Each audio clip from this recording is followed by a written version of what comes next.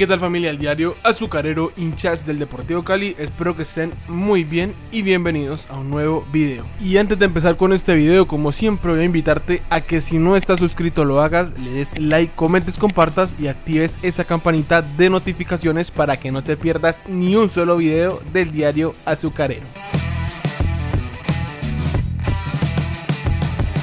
Bueno señores, Jaime de la Pava lo ratifican como director técnico del Deportivo Cali. Como le dije en mi anterior video, si usted se quedó hasta el final, le dije que en el Deportivo Cali no hay nada escrito, no hay nada confirmado y no hay nada oficial hasta que salga en las páginas del Deportivo Cali. Le comenté que la junta directiva estaba desconectada, está dividida y por ende eh, no se puede dar nada por oficial. Y esto sencillamente fue lo que pasó luego de haber tomado una decisión, deciden ratificar al señor Jaime de la Pava como entrenador del Deportivo Cali y seguirá al mando del equipo.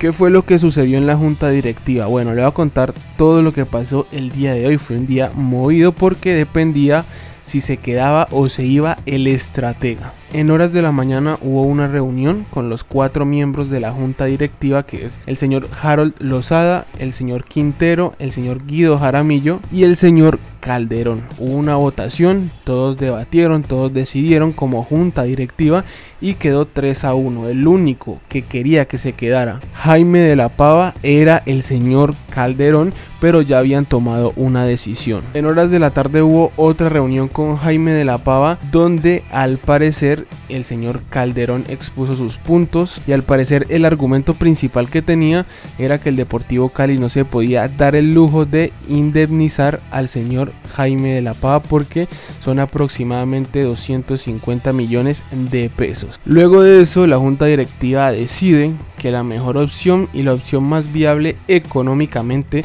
y según ellos futbolísticamente que para mí están muy desconectados de lo futbolístico entonces algo que ya habían dicho verbalmente lo cambian y deciden ratificar al técnico Aquí le voy a dejar unas estadísticas del estratega con el Deportivo Cali a ver si usted entiende la decisión que acaba de tomar la junta directiva. En la actual liga Deportivo Cali suma 11 encuentros donde Jaime de la Pava ha sumado 4 victorias, ha empatado 2 partidos y ha perdido 5 partidos. Ha sumado 16 goles anotados y 14 goles en contra, para un total de 14 puntos. El semestre pasado, 28 encuentros en total, donde ganó 8, empató 8 y perdió 12 partidos. Marcó 32 goles y le marcaron 45 goles en contra, para un total de 32